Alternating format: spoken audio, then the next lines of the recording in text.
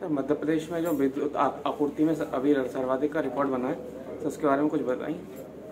देखिए, आज मध्य प्रदेश में चार हज़ार सात सौ मेगावाट की विद्युत की मांग थी, जिसको हमने सफलतापूर्वक मांग की, पूर्ति की है। और इस दौरान मध्य प्रदेश के पूर्व क्षेत्र विद्युत वितरण कंपनी में चार हज़ार चौंतीस मेगावाट की मांग थी मध्य क्षेत्र में चार हज़ार सात सौ चौहत्तर मेगावाट की मांग थी।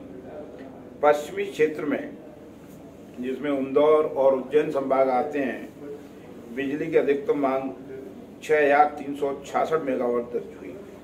और रेलवे को दो सौ छियासी मेगावाट बिजली हमने दी है।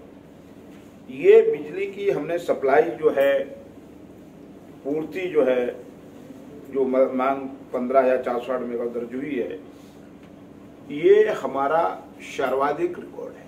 और इसमें कहीं कोई व्यवधान नहीं आया। किसान को भी बिजली मिल रही है, उद्योग को भी बिजली मिल रही है और घरेलू उपभोक्ताओं को मिल रही है। ये माननीय शिवराज सिंह जी के शासन में जो हमने कहा था, वो किया है। एक समय वो था मध्य प्रदेश में जब लोग पूछते थे बिजली कब आएगी। आज अगर दस पाँच मिनट को बिजली चली जाए तो बात अलग है। लोग पहले गर्मियों में रोडों पे, चड्डियों बनियान में घूमते थे, कहते थे, बिजली कब आएगी?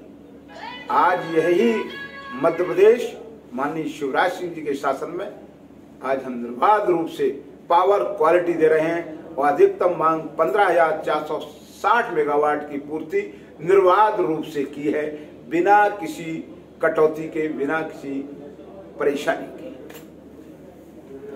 मैं इसके लिए मध्य प्रदेश की मध्य क्षेत्र विद्युत वितरण कंपनी पश्चिम क्षेत्र, पूर्व क्षेत्र वितरण कंपनियाँ, तीनों वितरण कंपनियों को जनरेटिंग कंपनी को ट्रांसमिशन कंपनी को, और पूरी टीम को बधाई देता हूँ।